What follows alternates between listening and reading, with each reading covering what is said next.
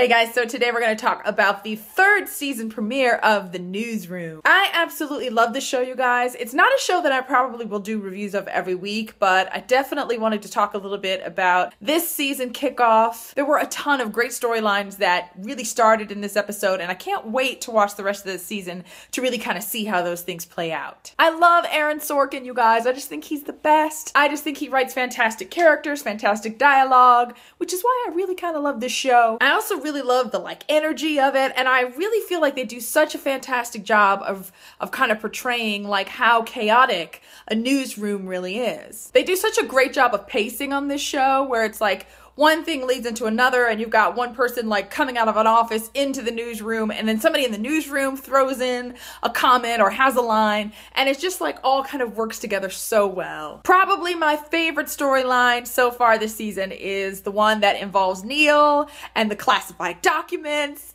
and Neil's in trouble and I kind of like Neil. He's like the dorky guy who runs their Twitter feed and does some other computer things and somebody has chosen to pass him classified government documents and it looks like he might might be in trouble as well, as he kind of asked for more proof. And because he did that, it looks like he could also be charged with espionage. So I'm kind of excited to find out about the source, but also to find out what's going to happen to Neil. Another thing that happened in this episode that I absolutely loved was the progression of Maggie's character. Obviously, last season, Maggie spent most of the time like trying to recover from what happened to her in Africa, and now she seems to be like on the mend. Um, she ends up in Boston and she ends up on the air when something happens to to Elliot. Chicken salad with walnuts, kind of hilarious. But I loved it, right? I totally wasn't expecting it. So she went on the air and she was fantastic. So I'm guessing that means we're going to see more of that and kind of see her character kind of develop into that. And so I'm kind of excited about that for her. And let's talk about Sloan, right? Because she is seriously one of my favorite characters on this show. And so I loved the whole bit where throughout the episode,